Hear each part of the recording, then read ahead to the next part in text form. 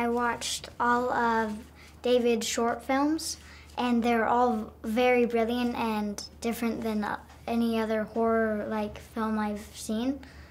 And because they always like leave you wondering what happens next because they end and it,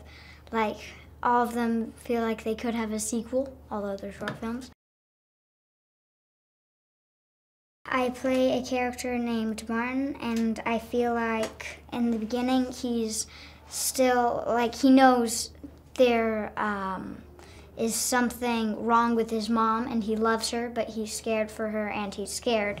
kind of not of her, but whoever she's talking to. And um, towards well later in the film when he finds out about Diana and all that,